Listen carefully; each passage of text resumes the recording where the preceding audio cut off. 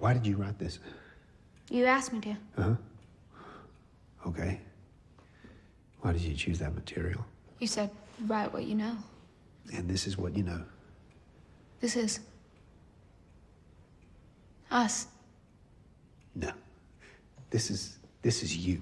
I don't I, I don't understand this. Are you being serious? okay, it's. It's about two like people abnegating social convention. You know, it's commentary on the sexual anesthetization of a culture that's super saturated with pornography. It's about the inefficacy of romantic dogmas on young people's expectations. It's about inexorable attraction. It's layered. This is pornography. Yes. So put it in your diary, not on my fucking desk. Write a new story with a new author. I- I'm not gonna indulge this. Are you talking about the story or us? Both.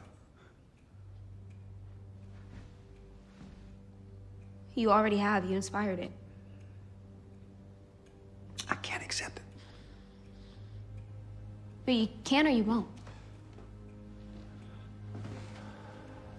Because it sounds like you're scared. And it looks like you're measuring.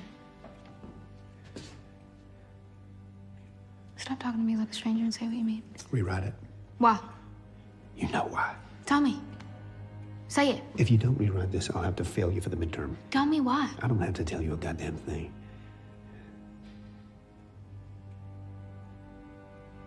It made you feel something that scared Don't put words in my mouth. Then say them yourself.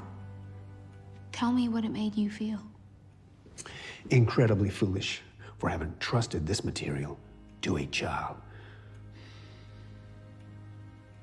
What was that before you read it?